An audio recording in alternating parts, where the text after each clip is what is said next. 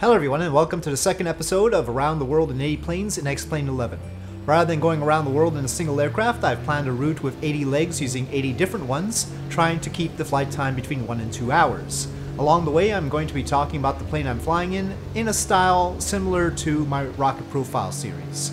I'm also going to be testing out different visual settings on each flight in a quest to capture the most beautiful scenes possible, and frame rates may be variable. The scenery is not default to X-Plane, but all freely available, and mostly thanks to Ortho4XP. Sorry about the long delay between episodes 1 and 2, I actually had the first 9 flights already recorded before starting the series, but after the first video I got sick and had voice problems briefly, then I got sidetracked with other things. But we continue here with a flight between Detroit Metro Airport to Toronto Pearson International, flying the stock Beechcraft Baron 58. Now, the responses to the first video seemed skewed to wanting to see airliners, and that made me worried about the reception that the Baron 58 would get, but it is a nifty dual piston engine plane. The Baron was first introduced in 1960 as the Baron 55, which had a length of 8.53 meters and a much longer wingspan of 11.53 meters, carrying one pilot and five passengers. Gradually, the body was lengthened to 9.09 meters with the Baron 58 in 1969, while the wingspan stayed the same, and the extra space added comfort and baggage space. It also got a bit heavier, going from 1,431 kilograms empty to 1,814. To compensate for this, the engine used was changed from the Continental IO470L, which had 265 horsepower, to the Continental IO520s or 550s, which have 300 horsepower. The number in the engine designation indicates its engine displacement in cubic inches, so the IO470L had a 470 cubic inch displacement, or about 7.7 liters, while the new engines boasted 8.5 and 9 liters. The Baron 55's engines were related to the engines on the Cessna 180 and 182, mainly different in adding fuel injection instead of carburetors. That's designated by the I in the engine model name. The Baron 58's Continental 520 is shared by the Beechcraft Bonanza, Cessna 210, and other Cessnas, while the 550s have also been used in the Bonanza as well as the Cirrus SR22, both of which we may see later in the series. With these engines, the original Baron 58 could cruise at 200 knots, but its cabin was not pressurized. A pressurized edition, the Baron 58P, was introduced in 1976 alongside a turbocharged edition, the Baron 58TC, which got TIO 520s, which provided 325 horsepower.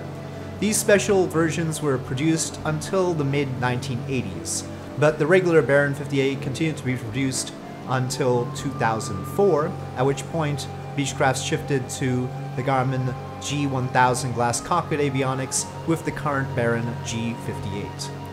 A new G58 costs around a million dollars, but Barons have historically retained their value reasonably well. I saw a 1973 Baron 55 selling for $205,000, and a 1988 Baron 58, over 30 years old now, selling for $415,000. Hopefully you could talk that price down a bit though. The original Baron 58 has a maximum range of 1,013 nautical miles, which is 1,165 statute miles, and carries 1,164 pounds of fuel, which is nearly 140 US gallons. So, doing the simplified math, you can get 8.3 miles to the gallon. With that full fuel load, though, you can only carry 136 kilograms of payload, so maybe not even a passenger, depending on how much you and the potential passenger weigh. Fill the cabin, and that fuel economy and range is going to go down dramatically, as is the way of things.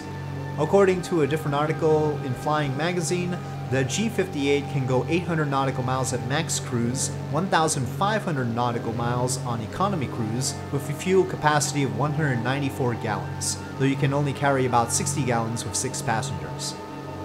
The difference between the fuel capacity numbers should suggest that while there aren't many different models of the Baron 58, and the airframe sure looks the same, there have been incremental changes and tweaks over time.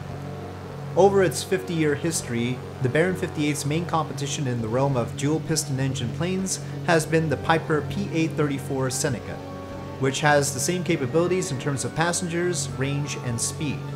More than 6,000 Barons have been built, and more than 5,000 Senecas. The Seneca was introduced two years later, in 1971, and is substantially lighter at an empty mass of 1,457 kilograms, basically the same as the original Baron 55. So the seating might be a bit cramped in it, but that lets it get by with two Continental TSIO 360 turbocharged engines, each delivering only 220 horsepower.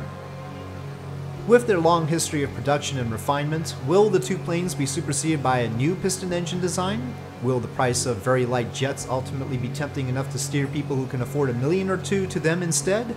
Or will the Baron 58, the Piper Seneca, or both, go on to celebrate 100 years in production? On that thought, we are passing by the CN Tower in Toronto in preparation for landing at Toronto Pearson International. This flight was actually recorded on December 29th, 2018, so it's been a little while, and I've flown quite a few flights since and the total distance was 186 nautical miles, so fairly short flight for the Baron 58, which can fly for 5 hours. This took 1.4 hours.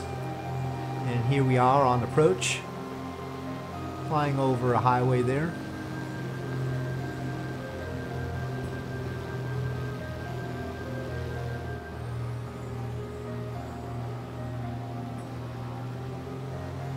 And as we come in for a landing, I'll say thank you for joining me in this flight between Detroit and Toronto in the Beechcraft Baron 58.